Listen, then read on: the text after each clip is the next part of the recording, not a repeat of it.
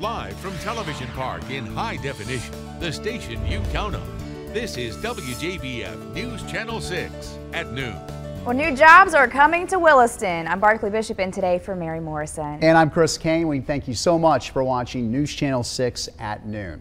Coverage you can count on begins in Williston, South Carolina. That's where South Carolina Governor Nikki Haley just wrapped up a huge jobs announcement. Uh, the governor was part of a group that announced the National Beverage Screen Printers is expanding its Barnwell County facility. The $2.5 million investment is expected to bring 80 new jobs to the area. A new 14,000 square foot building has been added to the company's current facility.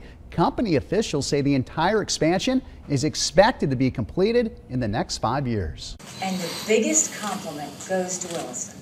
The biggest compliment goes to Barnwell County because they could have expanded anywhere. We see companies moving, but they saw the work ethic here. They saw the profitability here. They saw the ability to expand and grow here in Williston. That's such a tribute. Now they've already started hiring for those jobs. You can apply by contacting Aiken Staffing. You can count on much more on this uh, big announcement coming up later tonight on News Channel 6 at 5 and 6. Richmond County investigators are looking for a killer this noon hour. They say someone shot and killed 39-year-old Usarian Brooks at a home on the 3600 block of Massasoit Drive early this morning. Investigators have not released much information about this crime at this point, other than to say that Brooks was pronounced dead at the scene. Count on News Channel 6 to continue to follow this story throughout the day and have the latest information tonight at 5 and 6. Richmond County investigators are looking for this man, Herman LaPatrick Brown, is accused of shooting 25-year-old Marion Henley in the chest last night at a home on 3rd Avenue in Augusta. Investigators say the shooting stems from an ongoing feud. Henley was taken to a hospital where investigators say he's listed in serious condition. Brown is facing aggravated assault and weapons charges. Passengers at Atlanta's Hartsfield Jackson Airport are being allowed to return to their gates. A small electrical explosion at a maintenance shop knocked out power to one of the concourses this morning. Uh, nobody was hurt. The explosion caused some minor damage, but a spokesperson for the airport says there was no fire.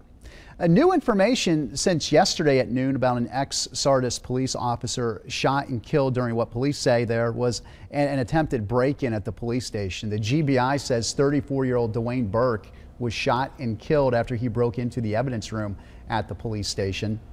Investigators say it all went down around 2 o'clock Monday morning when a Sardis police officer noticed the door to the evidence room was kicked in. They say officers found Burke inside that room with an axe. There was a struggle, and that's when Burke was shot. Burke was once an officer with the Sardis Police Department, but resigned from that job in 2009. At this point, I don't know a motive of why he broke into the building. Um, you know, he was in an area that appears to be in their evidence room, so I don't know if there was something in particular he may have been looking for here. Uh, Burke has been the subject of at least one GBI investigation in the past. The Waynesboro True Citizen has reported that Burke was arrested in 2010 on charges of making terroristic threats and acts. The identity of the police officer who shot Burke has not been released. It looks like all the rain we've been seeing over the past week or so is gone for a while. But while the CSRA is drying out, there are still some problems left behind by the rain. Courtney Elledge explains. Days of rain and severe weather have led to this washed out roadways, blocked streets, and frustrated citizens. It's a 15 minute delay for us to go into town. Uh, it's made a 15 minute delay for my customers to come make, pick up their rentals on the weekends. And getting back, it's just a mess. The mess from nearly 10 inches of rain in two weeks has caused this sinkhole near Jackie Foshi's home on Willow Lane in Aiken. As a small business owner and aunt, the road damage is not only affecting her small company, she says it's affecting her safety. What if there was a family emergency, you had to be rushed to the hospital? Then the ambulance would be 15 minutes late getting to us. Um, if we had to go to my husband's aunt that she's deaf and we had to get over there, it would be 15 minutes delayed to get to the 520 mm-hmm. to go to her house. It's just a mess. Now, about a mile down the road on Cherokee Drive, those streets are also closed. Crews have been repairing sinkholes on Five Notch Road and other hard hit areas, but Foshi says it's their turn.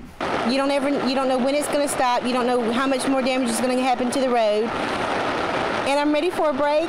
Nearby residents have been told by the South Carolina Department of Transportation they will be fixing these problems, but they can't do anything until the rain stops. Crews say the sinkholes formed after heavy rains overloaded the drains, causing an underground pipe to explode. Whether it's rain or shine, residents of Aiken say they simply want the problem to be fixed. How many sinkholes can we have in the CSRA within a matter of, Yeah. what, seven days? And we've had a bunch of them. I mean, we really need to dry out here. Yeah, and thankfully we're finally going to start drying out here. But as we dry out, we're also going to start warming up.